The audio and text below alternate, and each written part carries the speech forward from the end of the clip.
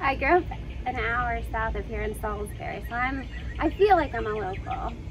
Yeah, so I was drawn to the medical field because I loved math.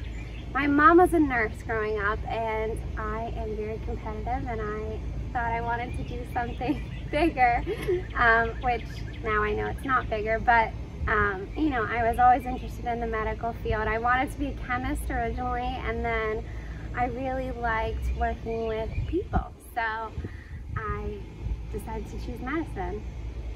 So for medical school, I went to Eastern Virginia Medical School in Norfolk, Virginia, which is, um, you know, pretty close to home and it was a great school for me. I, uh, I went into internal medicine first and that allowed me to choose from a bunch of different specialties.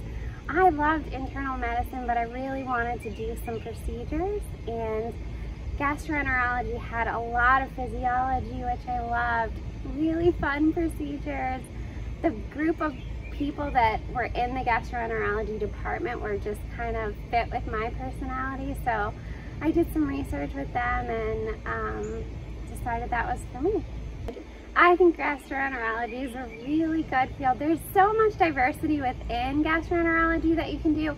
It's still kind of like primary care, so you're, I still feel like you're kind of on the front lines, which is awesome because you're doing the screening colonoscopies and finding colon cancer early or preventing it. So you have the preventative medicine, but you can also decide to specialize in transplant hepatology or advanced procedures. So I feel like it's the best of both worlds. Yeah, so I think the best thing about building rapport with patients and, and getting the education out there is to start off by listening, you know.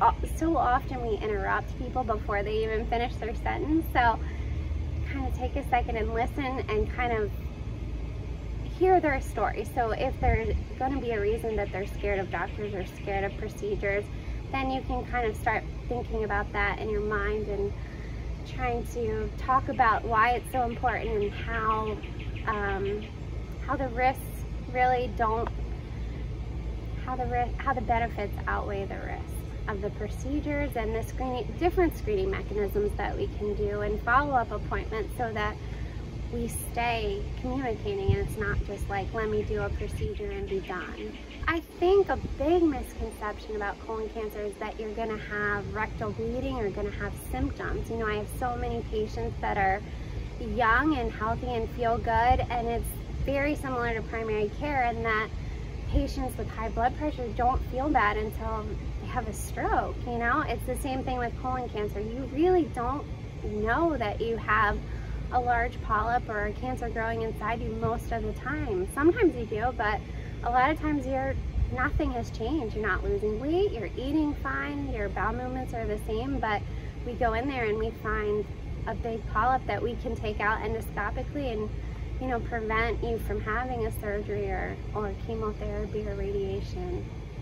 Yeah, so I was I've been in the area for three years and I love it here, I really do. But I trained in a center with a bunch of gastroenterologists and so when I came to Beebe to do my procedures, to be able to interact with a bunch of different gastroenterologists and have that camaraderie and the communication about different patients and cases and kind of bounce ideas back and forth between providers, I think that's awesome. That's what I trained with. That's what I like. And so I'm happy to be, you know, with a group of people that we can have those conversations.